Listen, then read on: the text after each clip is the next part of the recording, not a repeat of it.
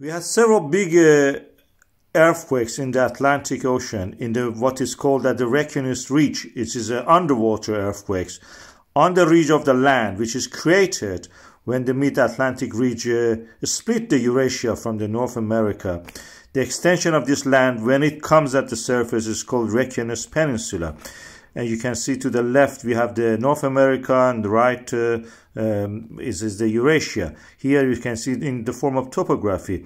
Uh, Iceland has been created at the middle. You see Scandinavia in the top uh, uh, right and the UK in the middle of the uh, near the center right.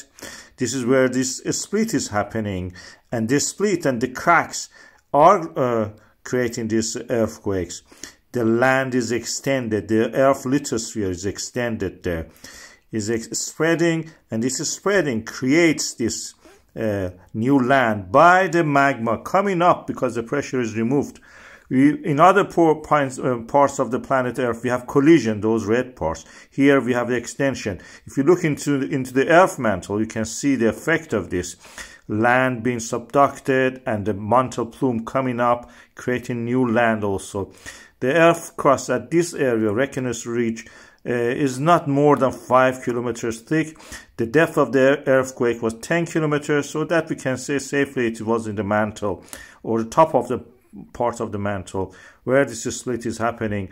On the land, we will have earthquakes like what we saw in the Fagradalsfjall in 2021, then followed by eruption we can conclude that these earthquakes, if they happen in the Reykjanes Ridge, we can also have similar underwater uh, eruptions there.